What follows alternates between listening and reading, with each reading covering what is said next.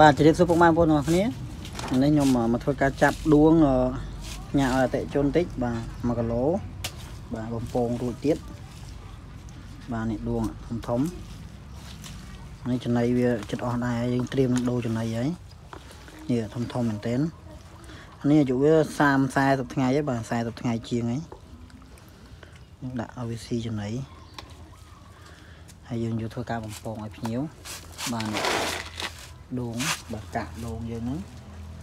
បាទអញ្ចឹងយើងធ្វើការរើសវាយកតាធំធំឲ្យគាត់ទៅបាទហើយអានេះយល់រួមទៅ ជាទូទៅខ្ញុំលក់ប្រភេទ200គ្រាប់1គីឡូបាទអាយុវាមួយខែកន្លះឬក៏40ថ្ងៃអីហ្នឹងបាទគឺ20អឺ200គ្រាប់1គីឡូ200គ្រាប់សុបដួងបាទ200គ្រាប់ដួងនេះបាទតម្លៃវា1គីឡូរស់អញ្ចឹង1គីឡូ70000បាទ បំពងរួច1គីឡូ80000 90000ហើយកុំលេងណូណូដៃបាទអោសគៀបដៃអោសអោសនេះធំធំទេពេញឆ្ងាញ់ហើយបាទនេះហេ no no no no no នេះធំធំមែនទែនបាទ សាច់ខ្នាតយៈយៈនេះខ្នាតអស់ធំហ្នឹងនិយាយចំទៅហើយចំណីនេះក៏អស់ដែរនេះអត់តាន់បានដូរចំណីតែដួងគឺធំហើយបាទធំធំមែនទែនណាងណាងណូនេះចាប់លេងហ្នឹងចាប់អាហ្នឹងលេងកូនអឺចាប់ហើយអឺចាប់អាហ្នឹងលេងកូន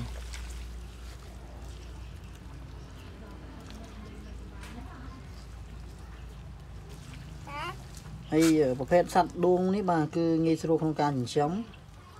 បាទហើយងាយថាថែទាំក៏ស្រួលបាទនិយាយរួមស្រួលមកចប់ពិបាកទៅលក់ទេបាទអញ្ចឹងសម្រាប់បងប្អូនដែលគាត់ចិញ្ចឹមគឺគាត់ភ័យខ្លាចបំផុតគឺទីផ្សារបាទអញ្ចឹងសម្រាប់ឥឡូវបច្ចុប្បន្នហ្នឹងបាទគឺបងប្អូនមិនបាច់ឆ្ងល់ទេមិនបានថាពិបាករកទីផ្សារបាទគឺដោយសារបញ្ហាកូវីដបាទអញ្ចឹងតាមបណ្ដាហាងមួយមួយគឺគាត់បិទអស់ហើយ បាទបើសិនជាតាមបណ្ដាហាងបើកខ្ញុំគិតថាទីផ្សារដូងប្រហែលជាអាចល្អជាងនេះបាទអញ្ចឹងខ្ញុំក៏ចាប់ផ្ដើមធ្វើបដាបដាទៅទ្រាំតែគេបើកវិញបាទទ្រាំតែកូវីដចប់យើងនឹងមានផលិតផលលក់ឲ្យគេបងយើងយើងមានផលិតផលលក់ឲ្យគេស្រាប់អញ្ចឹងបាទត្រឹមដល់ថ្ងៃគេត្រូវបើកយើងមានផលិតផលលក់ហ្មងបាទអញ្ចឹងសម្រាប់បងប្អូនដែលគាត់ទន្ទឹងមើលទីផ្សារបាទអាចចាំមើលបន្តទៀតបានតម្រាំទៅហាងឬក៏ភោជនីយដ្ឋានគេបើក បងប្អូនអាចចាប់ដើមធ្វើបានបាទអញ្ចឹងសម្រាប់បងប្អូនដែលគាត់ភ័យខ្លាចរឿងទីផ្សារអញ្ចឹងបាទអាចផ្អាកសិនក៏ផ្អាកទៅបាទហើយមួយវិញទៀតគឺផ្ដាំផ្ញើទៅបងប្អូនមួយចំនួន បាទដែលគាត់ចិញ្ចឹមលក្ខណៈសាកលបងឬក៏សាកចិញ្ចឹមដើម្បីចង់ដឹងថាវារស់មិនរស់ឬក៏បានផលមិនបានផលអីចឹងណាបាទអធិស្ស្រ័យបាទបងប្អូនជួយគិតពិចារណាផងបាទមុននឹងបងប្អូនលក់តម្លៃដែលធូរថ្លៃមែនទែនបាទ3 40000 បាទសម្រាប់តែបងប្អូនគាត់ចំបានត្រឹម4 5ម៉ាងគាត់ហ៊ានលក់ដល់3 40000បាទគាត់លក់គឺលក់បំផ្លាញទីផ្សារដួងលក់កំតិចហ្មងបាទលក់នេះលក់កំតិចហ្មងបាទមិនបានខ្ញុំថាអញ្ចឹងពីព្រោះគាត់អត់មានតកៅដួងច្រើនដែលត្រូវលក់រាល់ថ្ងៃដូចពួកខ្ញុំទេគាត់មានតែ1គីឡូ2គីឡូឬ4 5គីឡូហ្នឹងគឺគាត់លក់បំផ្លាញហ្មងបាទលក់លក់និយាយរួមទៅលក់អត់មានគិតពិចារណាបាទលក់លក់ប្រខូចគេបាទ ហើយអ្នកទិញគឺក៏គាត់ធ្លាប់បានទិញថោកហើយគឺគាត់រកតាថោកហ្នឹងទៀតបាទអញ្ចឹងវាខូចតម្លៃទីផ្សាររបស់គេបាទសម្រាប់ដែលយើងនឹងមានតែ3 4គីឡូយើងដើរក្លុកទីផ្សារគេអញ្ចឹងណាបាទខ្ញុំសូមផ្ដាំផ្ញើទៅបងប្អូនមួយចំនួនដែលគាត់មានត្រឹម3 4ម៉ាង4 5ម៉ាង10ម៉ាងហ្នឹងបាទហើយមួយខែមាន5គីឡូអីហ្នឹងបាទគាត់ដើរក្លុកទីផ្សារមែនតើដោយស្រាប់ពួកខ្ញុំគឺមួយថ្ងៃ5គីឡូក៏ខ្ញុំមានដែរបាទតែទីផ្សាររបស់ខ្ញុំគឺថេបាទអត់ចេះតឡើងតលាក់តណាទេ បាទអញ្ចឹងបងប្អូនមួយចំនួនគឺអាចឈប់បានឈប់ទៅបាទខ្ញុំសុំតែប៉ុណ្្នឹងទេបាទសម្រាប់អាជីវករឬក៏កសិករកសិកម្មអីហ្នឹងបាទអញ្ចឹងយើងកុំបំផ្លាញទីផ្សារគ្នាឯងបាទ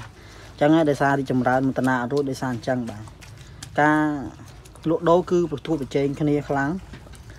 បាទប្រគួតប្រជែងគ្នាខ្លាំងពេកដល់ពេលអញ្ចឹងការធ្វើអីមួយមួយគឺបានតែមកប្រាមកប្រាវបាទខូចទីផ្សារដោយសារគាត់ពួកដែល ពួកគាត់មួយចំនួនដែលមានតិចតួចហ្នឹងបាទឲ្យគាត់ភ័យខ្លាចរឿងអត់ទីផ្សារគាត់លក់ដើម្បីឲ្យអស់ឲ្យចេញទៅវាខូចទីផ្សារតម្លៃរបស់គេបាទអញ្ចឹងខ្ញុំមានតែប៉ុណ្្នឹងឯងបាទហើយអានេះគឺដួងបំពងរបស់ខ្ញុំបាទនេះនេះត្រៀមបំពងឲ្យគេ1គីឡូបាទប៉ុណ្នេះវាលើស1គីឡូហើយតោះมันយើងហូបទៅបាទនេះគឺខ្ញុំដាក់ឲ្យវាស៊ីកាកដូងអញ្ចឹងទៅលាងកាពះវាឲ្យស្អាតបាទកាកដូងយើងពុកទឹករួចហ្នឹងបាទដាក់វាស៊ីទៅនេះ ចាអរគុណច្រើនបាទអរគុណច្រើនសម្រាប់អ្នកតាមដានទស្សនាបាទអរគុណច្រើន